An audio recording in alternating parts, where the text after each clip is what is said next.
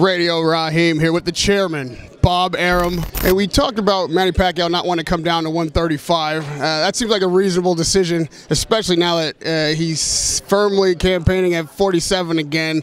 Uh, obviously, he's got the Broner fight ahead of him.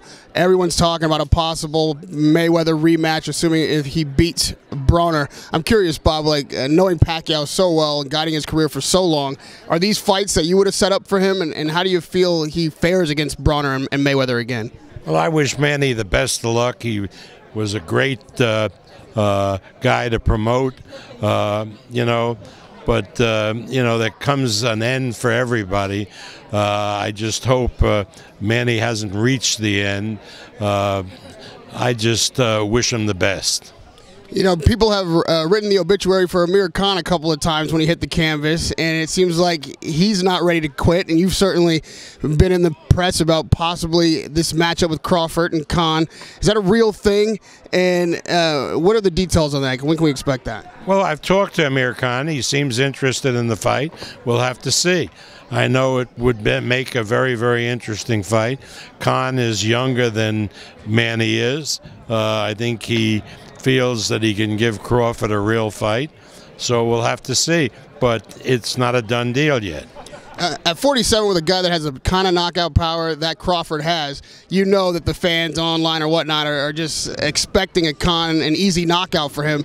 Why are they wrong, and what makes this matchup the right time, the right fight for Crawford? Crawford is a small welterweight. He's not a big welterweight.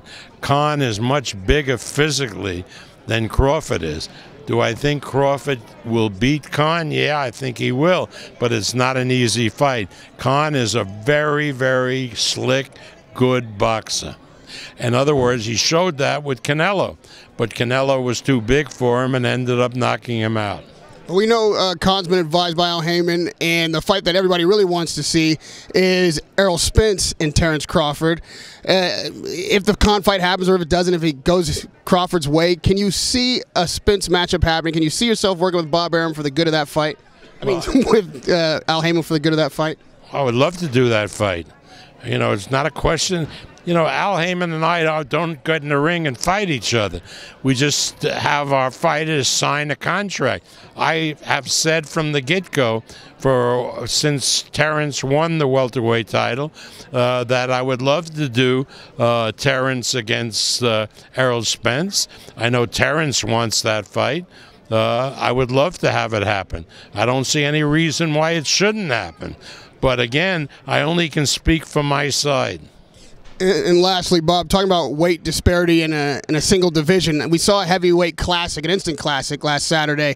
I'm curious of your thoughts about Fury Wilder, who you felt won, and how you felt that thing uh, shaked out, entertainment wise. I thought it was a tremendous heavyweight fight. It was a credit to the sport.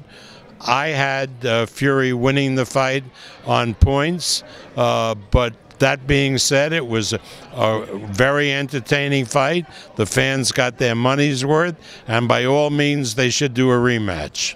You think, does it change your opinion? Does either one of those guys beat Anthony Joshua?